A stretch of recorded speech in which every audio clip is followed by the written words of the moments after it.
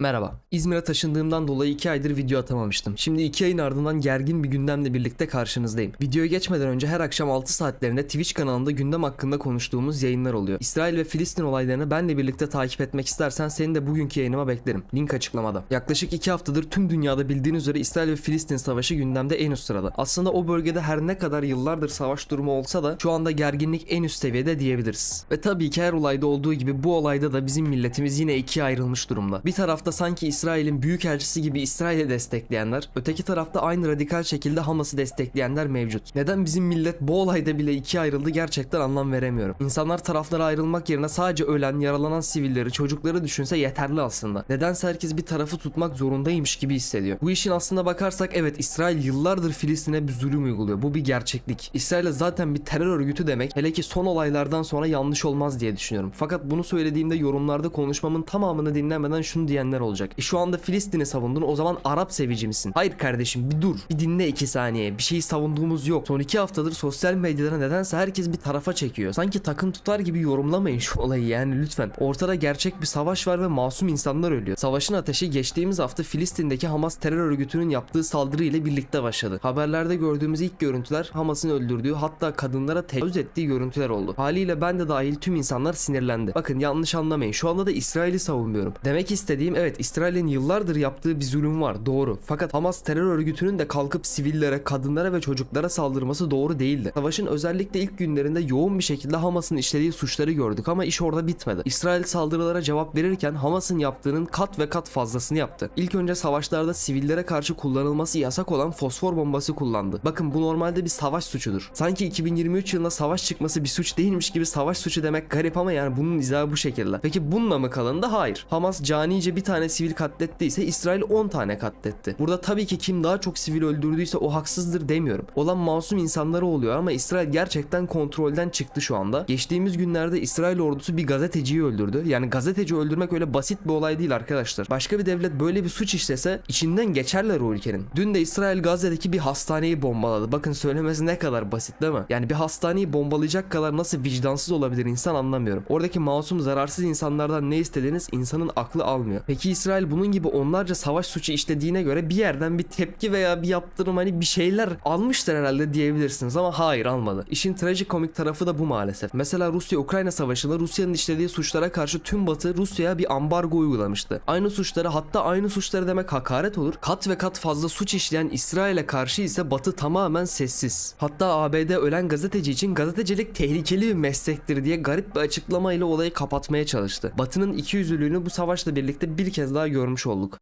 Sosyal medya ise savaş kadar rezil bir durumda maalesef. Savaşın ilk günlerinde Hamas'ın öldürdüğü ve tecavüz ettiği masum insanlara karşı bizim vatandaşlarımızdan bazıları oh ne kadar iyi olmuş daha fazlasını öldürürler inşallah tarzı garip garip yorumlar yapmıştı. Bakın ölen kişiler bir asker veya başka bir şey değil. Masum insan, can yani. Bu kadar vicdansız olunmaz. Tabii ki sadece Türkiye'deki Hamas'ı destekleyenler böyle iğrenç yorumlar yapmıyor. Aynı şekilde yine bizim vatandaşımız olup İsrail destekleyenler de İsrail hastaneyi bombaladığında masum insanları ve çocukları katlettiğinde bu sefer de onlar Filistinli masum insanlara karşı aynı iğrenç yorumları yapıyor. İnsanların bu kadar radikal bir şekilde İsrail desteklemesinin sebebini ülkemizde bulunan milyonlarca Arap mültecilerden kaynaklı olduğunu düşünüyorum. Ama unuttuğunuz bir şey var ki o da orada sadece masum insanların öldüğü gerçeği. Filistinleri sevmiyor olabilirsiniz ama İsraillerin de pek de bir farkı yok. Sonuç olarak aynı coğrafyadalar ve aynı pislikleri yapıyorlar. Bu bir futbol maçı değil. Bu sizin oynadığınız bir oyun değil. Ortada iki taraf içinde masum insanların canı söz konusu. İki pis devlet için bizim milletimizin böyle didişmesi gerçekten